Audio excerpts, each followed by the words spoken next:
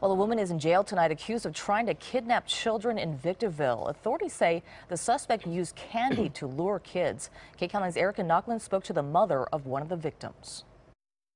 I'm angry and I'm I, am i am mad and I'm I'm thankful my daughter is home. This mother, who doesn't want to be identified, says she came too close to losing her child. Her six year old daughter was the one investigators say Julie Ann Turner from Apple Valley tried to kidnap Tuesday evening at Liberty Park in Victorville. And you see that you cannot protect her, it's one of the worst feelings in the world. The San Bernardino Sheriff's Department says Turner was going up to young children and trying to lure them back to her car with candy and even grabbed the girl's wrist. Thankfully, the child knew better, screamed, and got away as her mom ran over.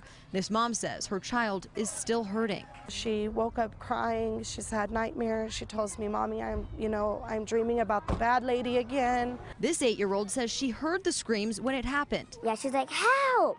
And ran to tell her mom. She just told me there's a lady going around asking, telling them that she has candy. She and other moms say Turner was trying to sell selfie sticks earlier in the night, and something already seemed off. It's scary. I would tell her she's sick.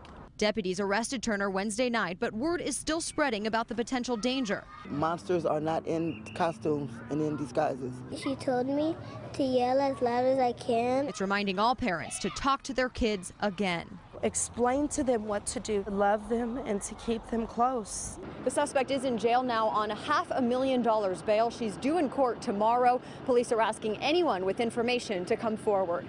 In Victorville, Erica Nochlin, KCAL 9 News.